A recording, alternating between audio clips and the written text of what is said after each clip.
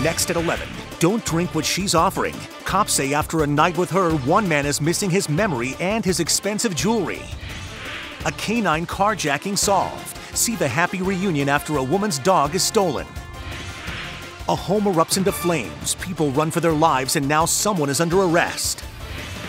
And the wait is finally over. We're live with the most die-hard fans as they see Star Wars for the first time. I'm Rick Folbaum. I'm Rudabeh Shahbazi. We'll see you at 11.